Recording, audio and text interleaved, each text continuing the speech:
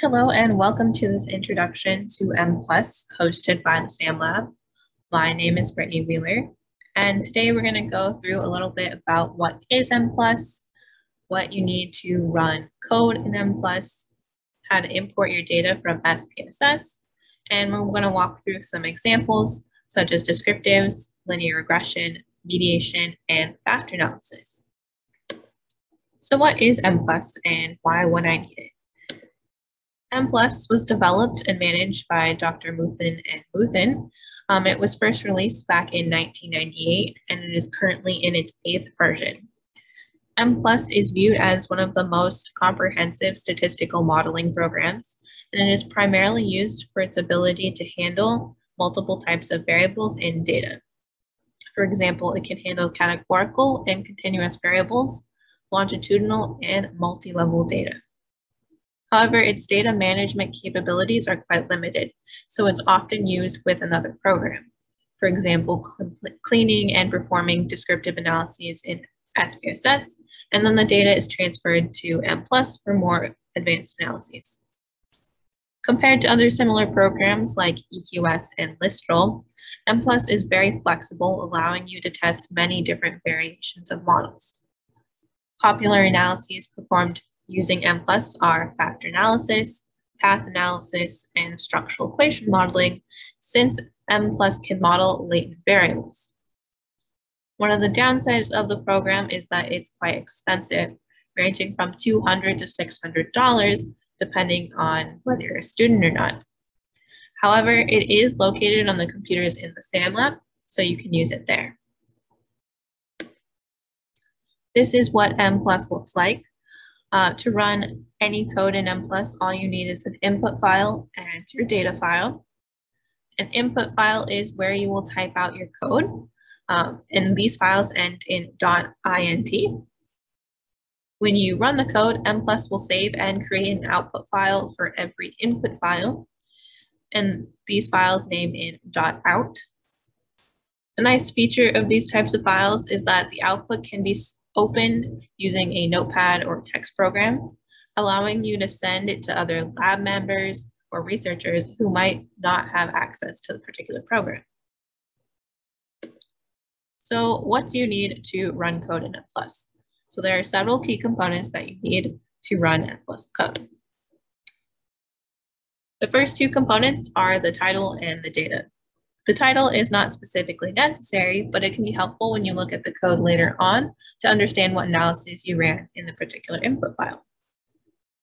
The data command, however, is required. It is a command that tells M plus where the file data file is located on your computer. As a note, these commands are not case sensitive, so they can be in upper and lower case.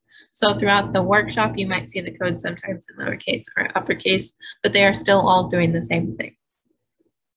All of these statements end in a semicolon. Uh, this is a way for M plus to know that you are done with the current command and ready to move on to the next. The next set of commands are the variable command. It is a required command which contains several functions, such as names are, missing are, and use variables. Names are tells the program what the variables in your dataset are. You want to list them in the same order that they are located in your dataset. M plus typically likes variable names that are less than eight characters long. However, it can handle variables with longer uh, variable names. It will just shorten them for you. The data that you get from SPSS is in free format. So you have to specify a particular value for missing, and they can't be blanks. So missing are all function is telling R what the program, what the value for the missing is in your data. Use variables is telling the program which variables you want to use. If you don't include this function, M plus will try to use all of these variables in your model. During this section, you can also specify which variables are considered categorical and which ones are nominal, using categorical are or nominal are. Again, all of these statements end with a semicolon. The next command is the model command, and this is where you state which variables influence other variables. Basically, this is where you're building your theoretical model. Dependent variables are written before the independent variables and are usually separated with on, by, or with. On is used to define regression relationships. So in this example on the right, we have write on female. So in this case, gender is predicting writing ability. By is used to indicate indicators of latent factors. So in this example, we have STEM by math and science. So math and science are indicating indicators of STEM ability. Lastly, with is used to represent correlated relationships or correlated variables. So in this example, we have read with write. So reading and writing ability are correlated. This code doesn't make theoretical sense, but this is an example of what you what it would look like when you write your own code. So these next bits of code are not required, but are generally added. So the define command will allow you to transform or manipulate variables. However, variables that are generated here must also be included in your variable command. As an example of things you can do with this command, we are creating an average score of all academic grades, a sum score of these grades, and we can also standardize variables in this command. The analysis command allows you to specify options for your analyses, such as estimation methods, rotation methods for factor analysis, and you can also request bootstrapping. You also need this command for running descriptive statistics, which we'll go over a little bit later. The output command allows you to specify options for your output, such as standardized results, sample statistics, and confidence intervals. This is also where you would request modific modification indices for your model as well. The explanation mark can be used to comment out code. Um, lines that have an explanation mark uh, before them do not have to end in a semicolon. And this is just telling M plus to not run the code for that specific line. There are a lot of different options that you can include um, in your M plus code. These are just some that you might consider the most useful as you're getting started with M. Some additional notes with your code is that all commands must begin on a new line. So you can't have your data or your title on the same line. Lines of code cannot be more than 90 characters long. If you have code that gets really long, or say uh, your data file has a really long file location, you can split up your lines and M plus will only recognize the end of your code once you have a semicolon. Unlike R or Stata, M plus will also run all of the code in your input file, so you cannot run specific segments of code. M plus will also force you to save all of your input code before running. So be careful when you're making model modifications so that you don't override your previous analyses. You can also use the diagrammer to write code. It'll only write part of the code for you, so you still need to know the key components that you would want to include. Also, what's nice about M plus code is that it generally all follows the same format. So once you kind of get the basics down, you can perform any kind of analysis in M plus once you get those core key components of the code. So how would you get your data from SPSS into M? There are six steps to importing your data in M. The first is to run descriptives in SPSS. Doing this can provide a baseline so that you can double check that everything was transferred correctly. Step two is you want to remove or convert all non-numeric variables. M plus cannot read character data, and so it will not run if you have these types of variables, such as free responses, in your dataset. I recommend doing this on a copy of your dataset just to make sure you're not accidentally removing or deleting any important data. Step three, not necessarily required as M plus will still accept longer variable names, but shortening, shortening your variable names um, will be beneficial in the long run since M plus will shorten them for you. Step four is to deal with your missing in SPSS. One way you can do that is to open a new syntax window using the recode command. You can recode all, var all variables you have to change system missing into a number such as 999, and then everything else you want uh, SPSS to stay the same. So this is a quick and easy code to just change all the system missing into a particular value. Uh, you can choose any value for your missing, but you do want it to be something that a participant could not have chosen.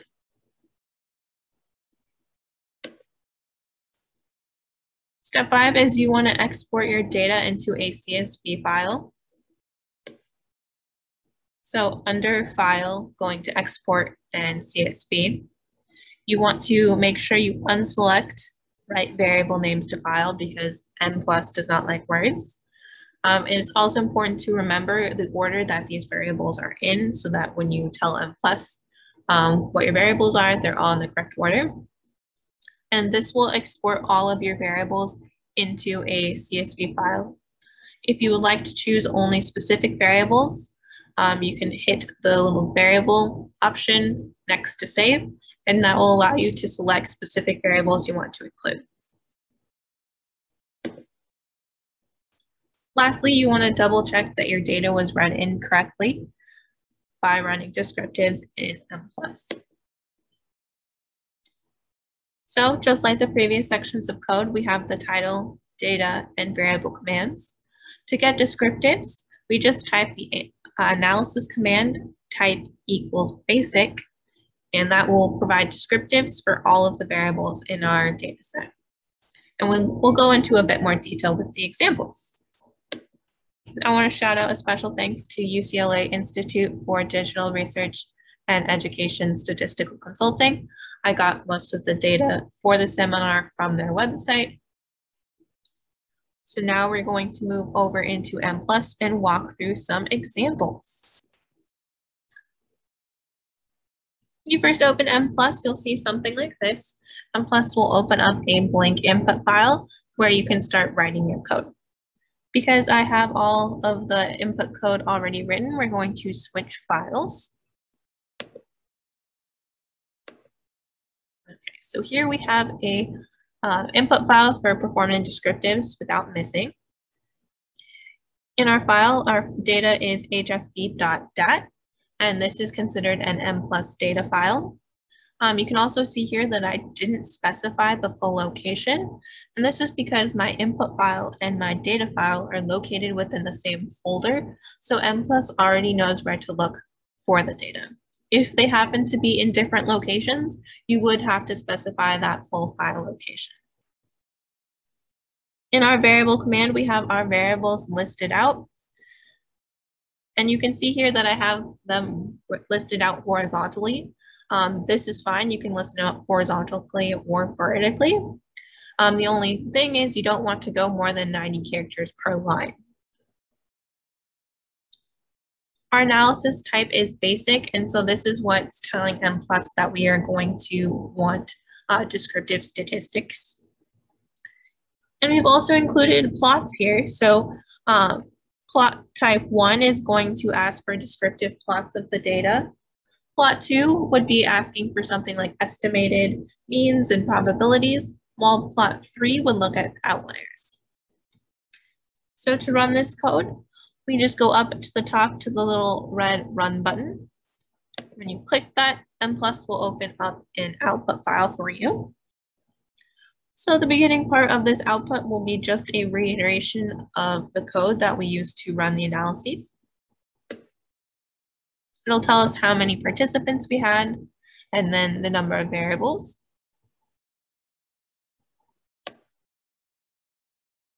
And then if we scroll a little bit further down, we'll have our means, covariances, correlations. And then all the way down at the bottom, we'll have our means, skewness and kurtosis, min and max, and then our percentiles.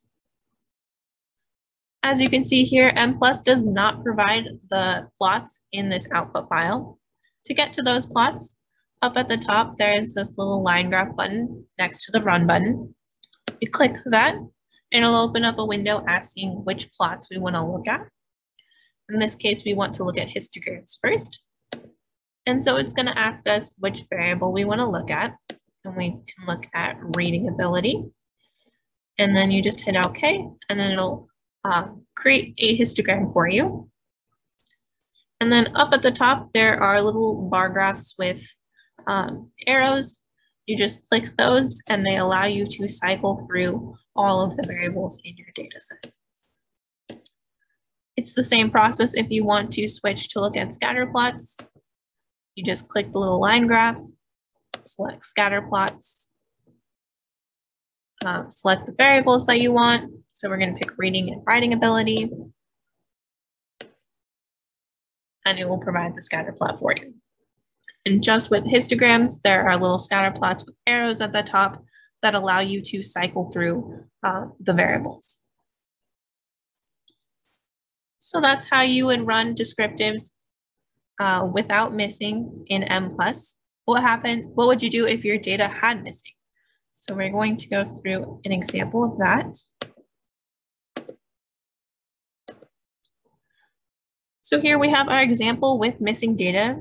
As you can see, it looks quite similar.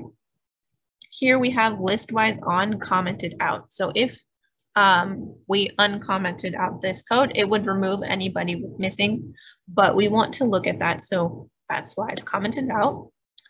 So the one bit of code that's different from the last um, input file is just this missing all, all um, statement here. So this is just telling M plus that any missing in our data is categorized by negative 9999.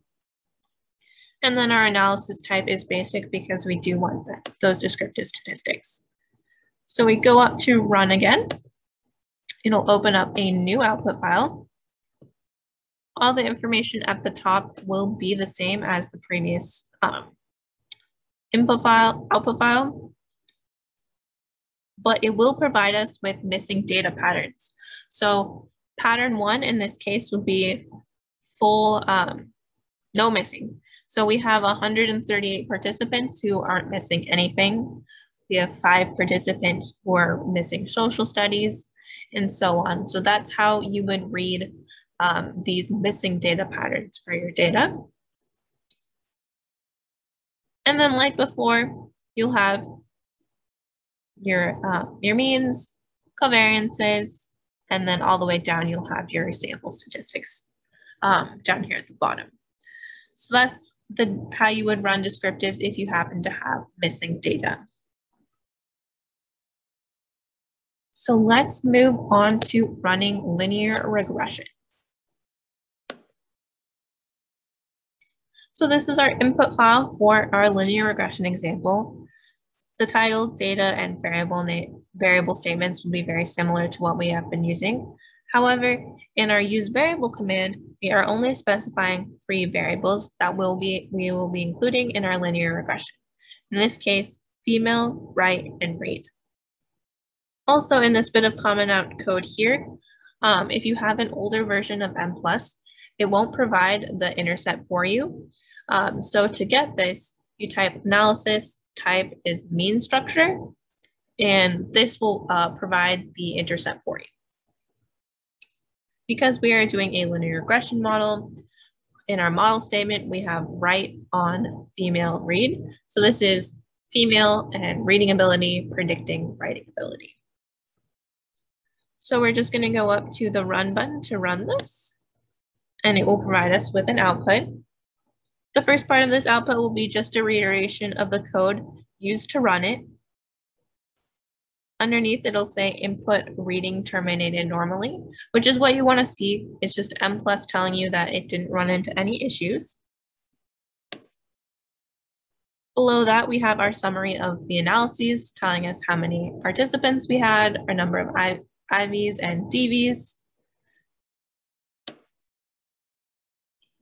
And then it'll tell you about any missing data if we had it, some univariate statistics, And then below that, we have a test of the model fit information. So because our current model um, in OLS regression is saturated, the chi-squared, the RMSEA, and the CFI will be either zero or one. However, what you want to look at is the chi-squared test of model fit for the baseline model. So what this is testing is basically our overall regression model um, for this analysis. Um, it's not specified as cleanly as it is in SPSS, um, but this is the test of the overall model. When you scroll down a little bit more, you'll have your individual coefficients for your regression model, and you would interpret these the same way as you would for uh, as you would in SPSS. So that's how you would perform linear regression in um, M+. We're going to take this a little step further and we're going to show you how to do mediation.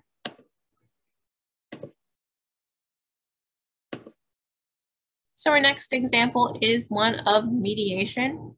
So as before, we have our title, data, and variables. In this case, the variables that we're going to be using in this example are liking, reappraisal, and protest with protest being our IV, reappraisal being our mediator, and liking being our DV. So in our model, we have liking on reappraisal and protest, and this is going to give us our B1 and C prime pathway. And then second, we have our reappraisal on protest, which is going to give us our A1 pathway. M plus also has the model indirect function, which is going to give us um, the indirect pathways between our IV and our DV. So in this case, we have liking, indirect, protest.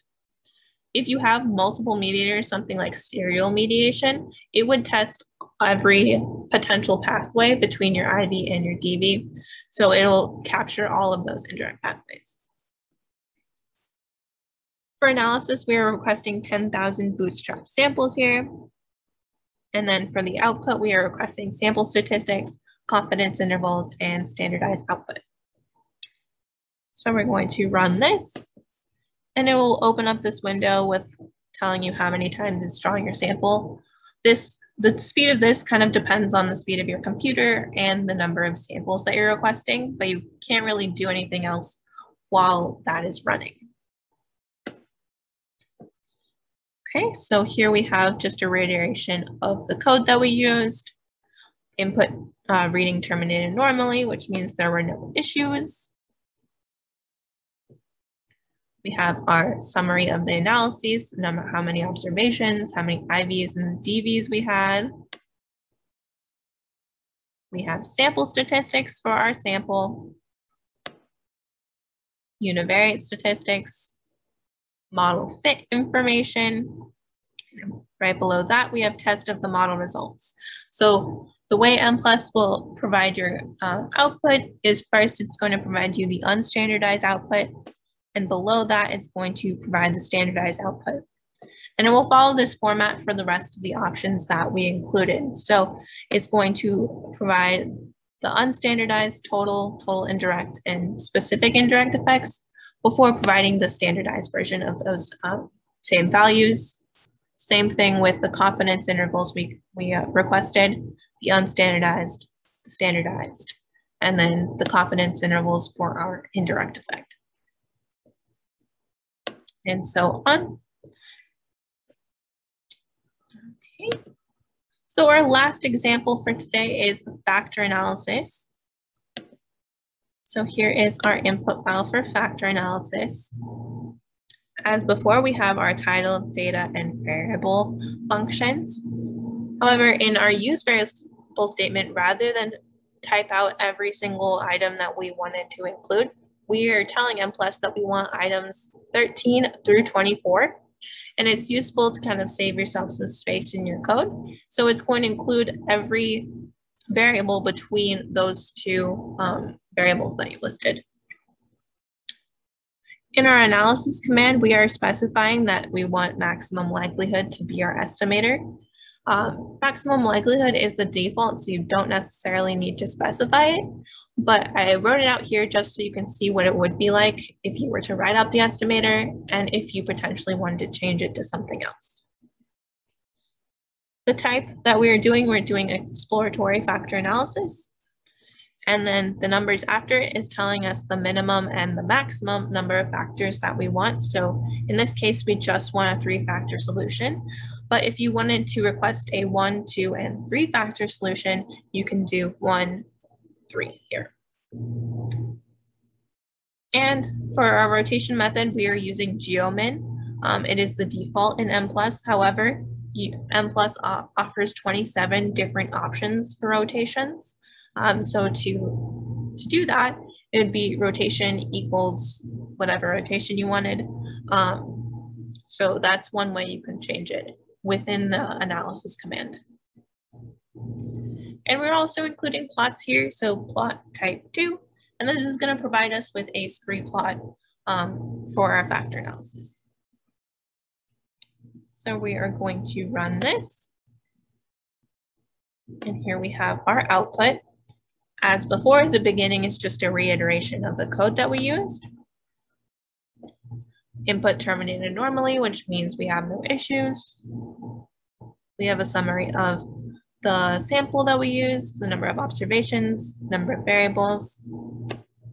Here in this summary of analysis is going to tell us the estimation method, the rotation we used, and whether or not that was an oblique or orthogonal rotation, in which case it is an oblique rotation.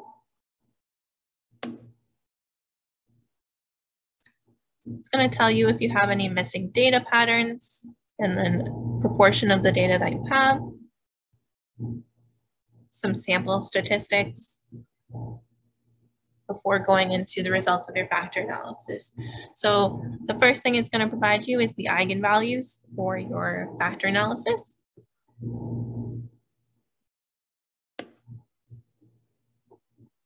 then it's going to provide you with some model fit information.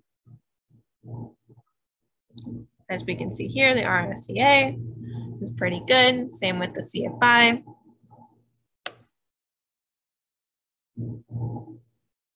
And then it's going to give us our factor loadings. So like the, the items that loaded on factor one, two, and three. Unlike SPSS, you can't suppress small um, factor loadings, but they are loaded based on size. So um, variables with high loadings are located first, with uh, variables with low factor loadings located at the, closer to the bottom. And because this is an oblique rotation, it has the correlation between each, the correlation between the factors. M plus will also provide the estimated residuals, standard errors, standard error of the residuals, and all the way down at the bottom, we have the factor structure, which is the correlation between each item and the particular factor. To get our scree plot, we just go up to the little line graph up here at the top to view plots. It'll ask us which plot we want. In this case, there's only one. And then it will provide us with the scree plot. So that is the basics of running a factor analysis in M+. So we're gonna go back to the PowerPoint and we're gonna go through some additional resources and pitfalls that you might run into when running M plus code. Here are several common errors or warnings that you might run into when writing M plus code. The first is just telling you that your variable names are longer than eight characters and only the first eight characters are going to be used. If this is an issue, go back to your input file and shorten the variable names so they're less than eight characters long. The second warning is telling you that your input line is longer than 90 characters, so some of your code can be truncated. An easy fix for this would be to go back to your input file and move part of your code to a separate line so that M is able to read all of it. The last warning, the command that all variables are uncorrelated from all other variables, can occur when you have some variables in your use variable statement that you did not specify a relationship with in your model statement way to fix this would be to go back to your use variable statement and make sure all of the variables there are located in your model statement. The best case is a warning that the estimation terminated normally indicated that there's no warnings in your code. However, there's several things that can stop your code from running. So if this occurs, you should check some of the following. First, check that all the semicolons are included at the end of each line, and that the correct variables are specified in your use variable command. Also double check that the location of your data has been specified correctly and, is in the correct folder. Also double check spelling of your variables, make sure the variable names are in the correct order, and that all your missing data has, is coded correctly. It's important to note that the warnings will not stop the code from running, but the lack of semicolons, misspelled words, and issues with data locations will all stop your code from running. There are also several resources that you can use as you move forward with M+. The first is statmodel.com. This was developed by the creators of M+, and contains multiple examples and walkthroughs. It also contains a detailed guide of all possible segments of code that you can potentially use in M+. Also, as previously stated, the Stats IDRE UCLA website contains a lot of annotated output and examples that you can use for M+. All of these examples are also located on the SAMLab website that you can use as you move forward. Thank you so much for attending this workshop. If you have any other questions, please check out the resources on our webpage or shoot us an email.